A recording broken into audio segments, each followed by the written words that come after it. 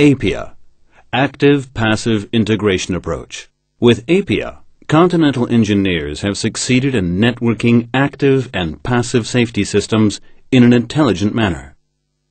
This was achieved by linking the subsystems involving the brakes, occupant safety, environmental sensors, and later even the steering. The overall idea is to avoid accidents and to prevent injuries.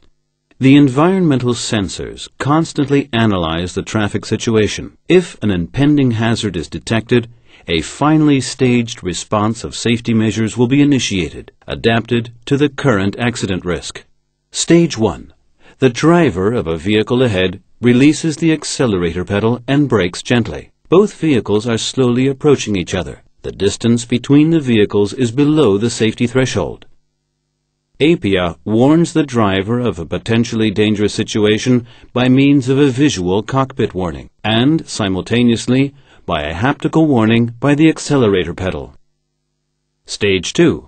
The driver in front is braking harder and the two vehicles are approaching faster. In addition to the visual and haptical warning of Stage 1, the side windows and the sunroof are closed. And the brake system is pre-filled with a maximum braking pressure of 5 bar. The seat belts are reversibly tightened with low force to reduce the belt slack. Stage 3. The vehicle ahead brakes very hard, and both vehicles are approaching even faster. In addition to the steps initiated in the first two stages, the seatbelt pretensioners are activated, effectively holding the occupants to the safest position in their seats.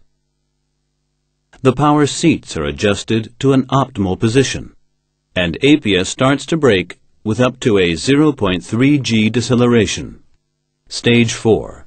The driver of the vehicle ahead slams on the brakes in an emergency. The previous actions are initiated.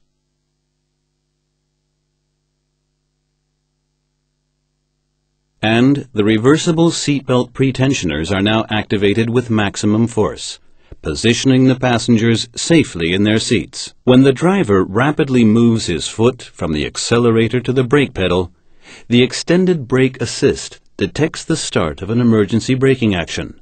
As the brake system has already been pre-filled in stage 2, maximum braking pressure can rapidly be applied. This ensures the shortest possible stopping distance. Stage 5. Despite emergency braking, a collision cannot be avoided. APIA initiates all active and passive safety measures to protect the passengers and, if possible, to avoid a collision.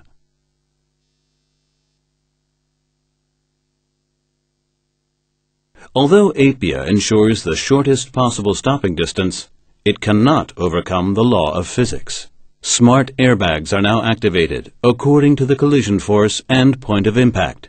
This is a further step to an injury mitigation vehicle. APIA, Active Passive Integration Approach.